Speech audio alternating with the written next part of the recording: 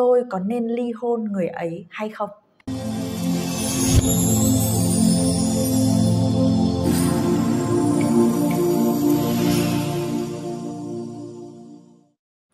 Bạn biết không, trong các ca coaching của Tuệ An và các chuyên gia tại Happy Academy thì ờ, những cái vấn đề mà chúng tôi nhận được nhiều nhất thường là những vấn đề liên quan đến tình yêu, hôn nhân, gia đình mà đặc biệt là những vấn đề liên quan đến ngoại tình.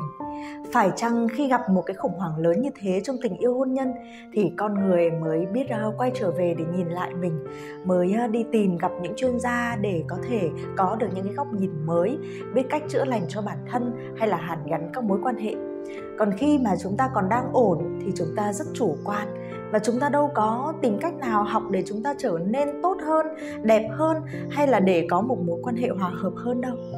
Và bạn biết không, câu hỏi lớn nhất mà chúng tôi thường xuyên nhận được trong những những cái ca coaching về ngoại tình đó đó là tôi có nên ly hôn người ấy hay không?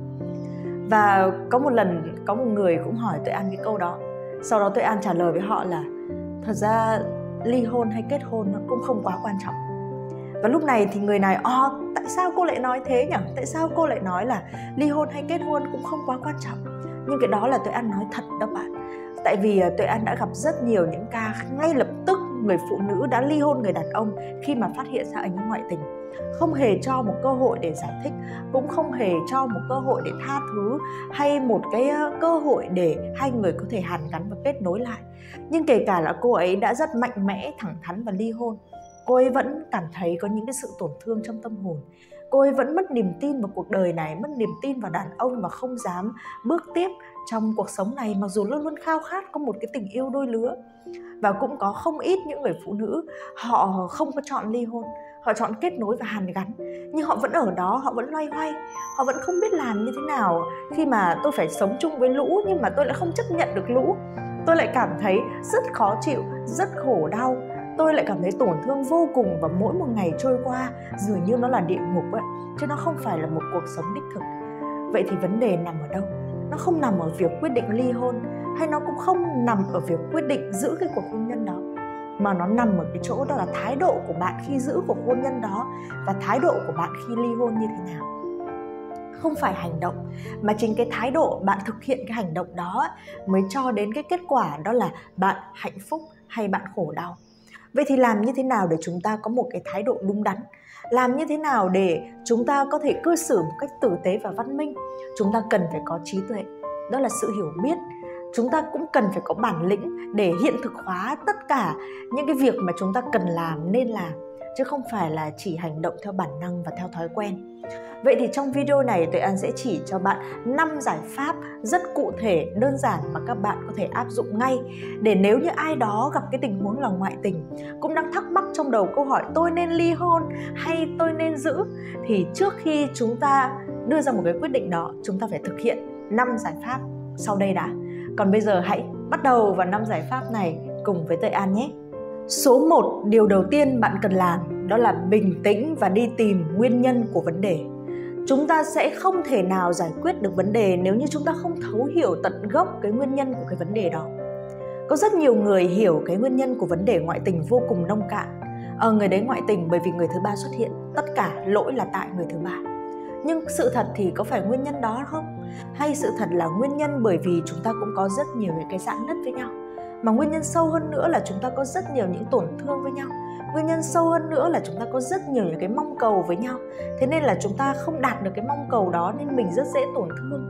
Nguyên nhân nữa có thể là bởi vì cái tôi của mình và người ấy quá cao, dẫn đến là chúng ta chưa từng có thể ngồi xuống để lắng nghe nhau một cách chân thành, để có thể giải tỏa những cái nỗi niềm với nhau để có thể thực sự là những người bạn trong cuộc đời này với nhau, như cái ý nghĩa của cái từ bạn đời đúng nghĩa.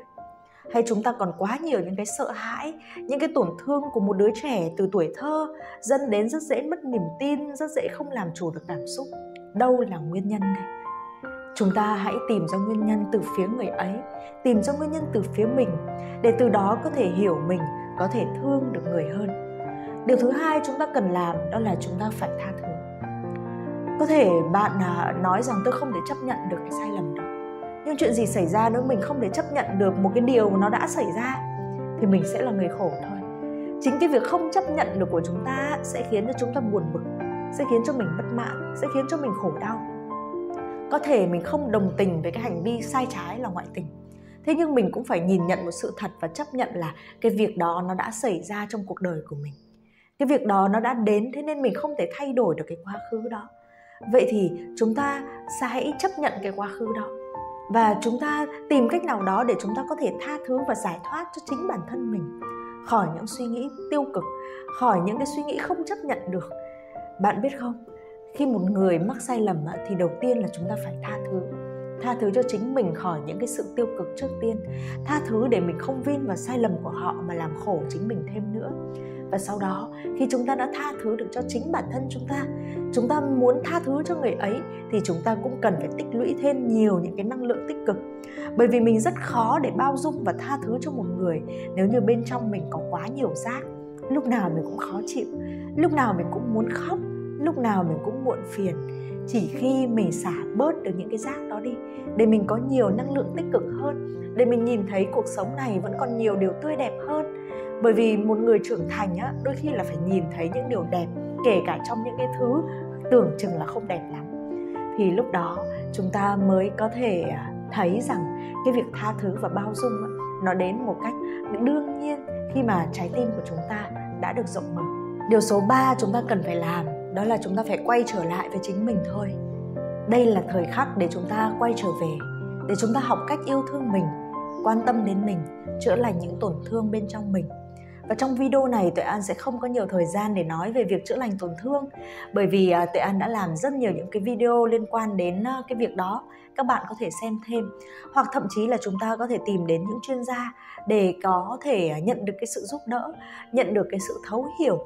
Và đôi khi là họ có thể vạch ra cho mình những cái đường hướng mới những câu hỏi giúp mình khai mở ra những cái niềm tin mới của bản thân mình để mình có thể tự kích hoạt lại cái năng lực chữa lành bên trong mình điều số 4 bạn cần làm, đó là hãy thay đổi bản thân. Mỗi một biến cố đến trong cuộc đời của mình, mỗi một sự thay đổi đến, dù đó là sự thay đổi theo ý mình hay không theo ý mình thì nó đều nhắc nhở bản thân chúng ta một thông điệp nào đó. Và nếu như cái kết quả chúng ta đang nhận được nó là sự bất hạnh, nó là sự khổ đau, thì có lẽ là chúng ta đã gieo một cái nhân nào đó của sự bất hạnh, của sự khổ đau trong quá khứ. Bởi vì khi chúng ta gieo gì thì chúng ta sẽ gặt cái đó đó là một nguyên tắc của vũ trụ này, đó là luật nhân quả và chúng ta sẽ không thể nào làm trái được nó. Kết quả không bao giờ nói dối hết. Vậy thì nhìn vào cái kết quả mà mình đang có hiện tại, mình sẽ rút ra được những bài học gì để tự quay trở về và thay đổi chính mình? Thay đổi bản thân là một hành trình dài. Nó cũng đầy sự khó khăn và trông gai. Nhưng chúng ta sẽ không thể nào hạnh phúc nếu như mình không biết cách thay đổi bản thân mình.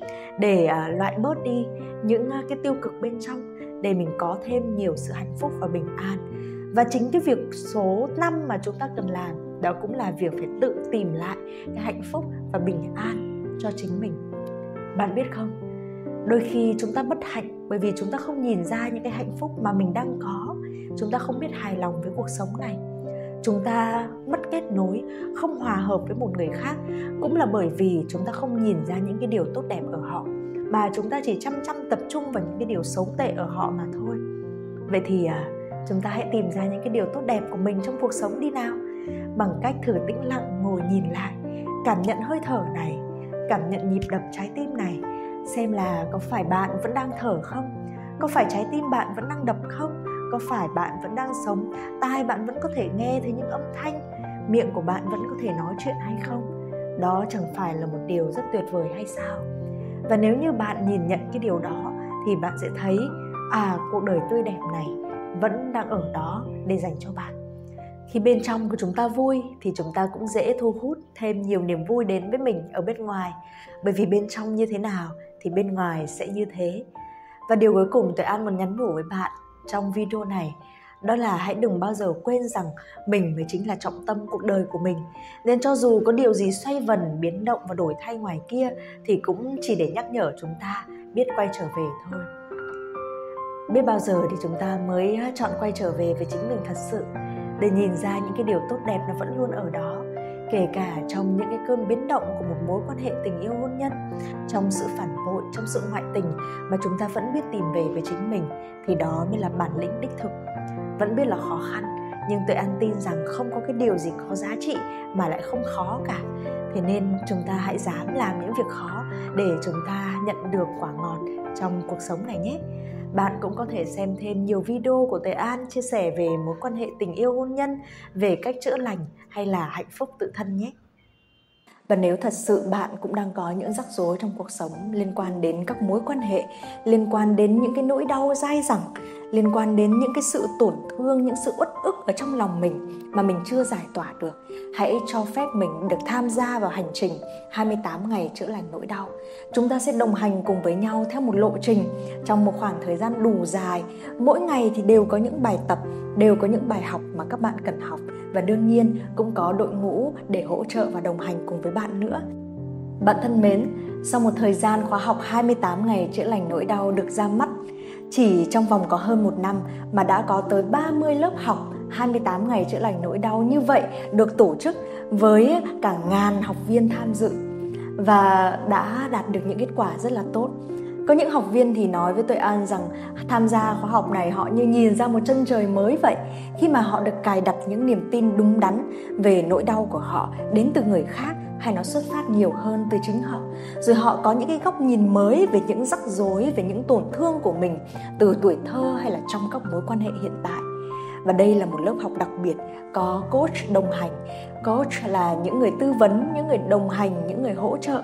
Những người có thể cũng đã từng trải qua những vấn đề giống bạn và bây giờ họ sẵn sàng nâng đỡ bạn để bạn cũng nhận ra những giá trị hạnh phúc ở trong cuộc sống này của mình. Để bạn từng bước biết đối mặt với nỗi đau đó, quan tâm đến nỗi đau đó, chấp nhận những vấn đề đổi thay trong cuộc sống để rồi à, hạnh phúc hơn. Vậy nên tuệ an và đội ngũ vô cùng khao khát.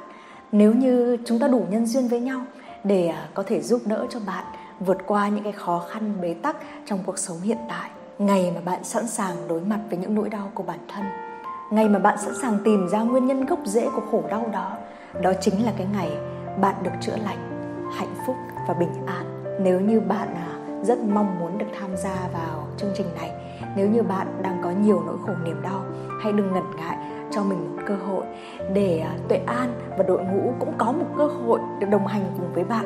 Để từ đó, bạn có thể bước sang một trang mới của cuộc sống, có thể hạnh phúc hơn, bình an hơn và cảm thấy thoải mái vui vẻ và tích cực hơn qua khóa học 28 ngày chữa lành nỗi đau